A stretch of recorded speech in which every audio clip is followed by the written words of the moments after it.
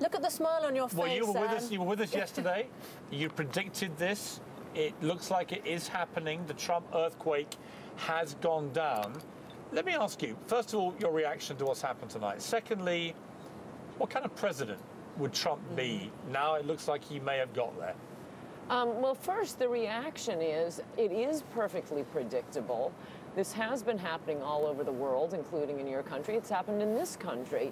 For, for 10 years now, both political parties have tried to push through an amnesty. And both times, it wasn't one political party fighting another, it was the American people getting wind of it and shutting down the congressional switchboards. Apparently, humans around the globe like to have countries and like to live in their countries. Um, so I think it was predicted, predictable. Um, that's why lots of us didn't predict it. But do you think it was more about jobs and Trump saying, look, I'm going to bring the jobs back to America, to, to working class guys again?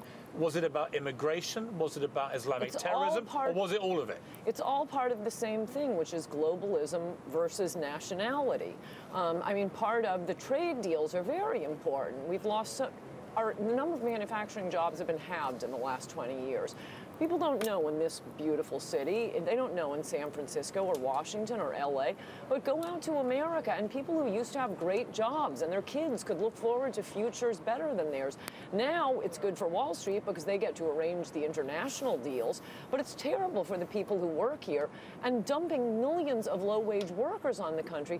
Look at how awful it's been for the African American community in this country. That's one way Trump is going to change You've the been personally reviled yes, I have. for decades, actually, and much of it, much of it thoroughly deserved.